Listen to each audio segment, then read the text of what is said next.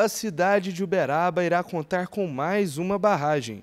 Com a função de reter e regularizar a vazão do rio Uberaba, o objetivo da barragem Prainha será acumular a água do período chuvoso para ser usada no período de estiagem.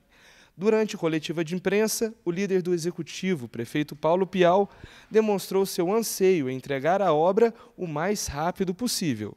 Nós queremos entregar o mais rápido possível, né? Meu desejo é entregar até dezembro de 2020. Eu sei que não vai ser possível, é uma obra grande, né?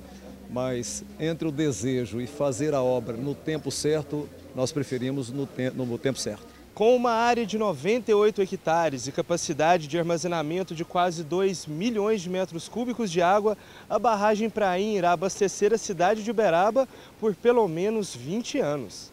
A construtora uberabense Nóbrega Pimenta foi a vencedora da licitação, apresentando a proposta orçamentária de 19 milhões e 400 mil reais, um valor quase 25% abaixo do estimado da concorrência. Custo nosso, por estar na cidade, é, a, a administração da obra, a mobilização, então você está com a obra dentro de casa. Então você tem uma condição de otimizar seus equipamentos e seu pessoal. Isso aí joga seu custo, ajuda bastante nas suas despesas e você consegue fazer uma obra com custo mais baixo e mantendo a qualidade da obra.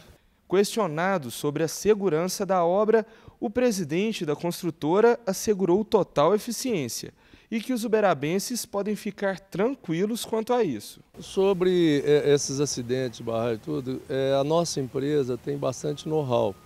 Nós trabalhamos aí há mais de 10 anos é, fazendo esse serviço. E eu acho que a nossa equipe está bem preparada, está bem estruturada. E eu acho que a população de Uberaba pode ficar tranquila em relação ao item segurança.